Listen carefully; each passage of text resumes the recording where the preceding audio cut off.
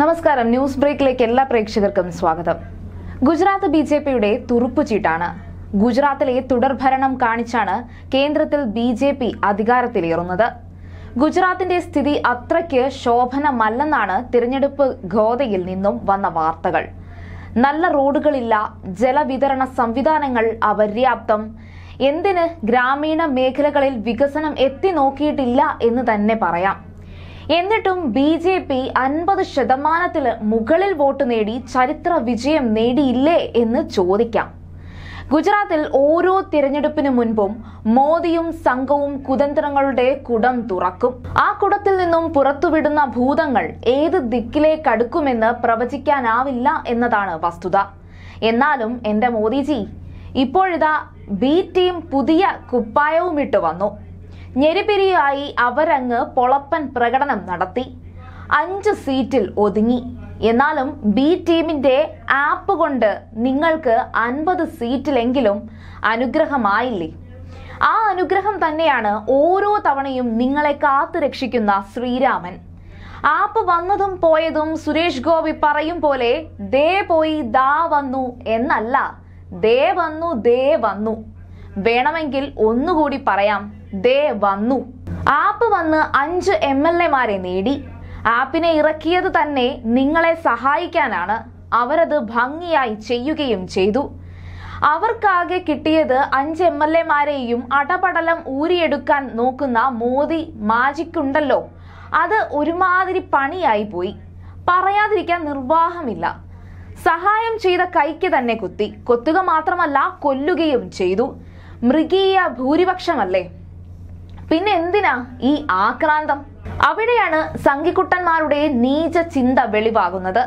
കയ്യിലെടുക്കുക ഉപയോഗിക്കുക ഉപയോഗശേഷം സംഹരിക്കുക ഇതാണ് അവരുടെ ഒരു ലൈൻ ഗുജറാത്തിൽ ആപ്പിന്റെ സഹായം വേണമായിരുന്നു. അതങ്ങ് ഉപയോഗിച്ചു. വിചാരിച്ചതിലും വലിയ നേട്ടം. കൂട്ടത്തിൽ ആപ്പിന് കിട്ടിയ അഞ്ചെണ്ണം വിഷവിത്തുക്കളാണെങ്കിൽ അടുത്ത അംഗത്തിന് അവർ വടവൃക്ഷമായി വളർന്നു പോയാലോ? പിന്നെ പറിച്ചെറിയാൻ കഷ്ടപ്പാടായിരിക്കും. അതുകൊണ്ട് ഉള്ള ചില്ലറ എറിഞ്ഞ് അഞ്ച് എം എൽ എമാരെയും വാങ്ങിച്ചു. എന്നിട്ട് ആപ്പിനെ കൊഞ്ഞണം കുത്തി കാണിക്കുകയും ചെയ്തു. ആപ്പാണെങ്കിലോ?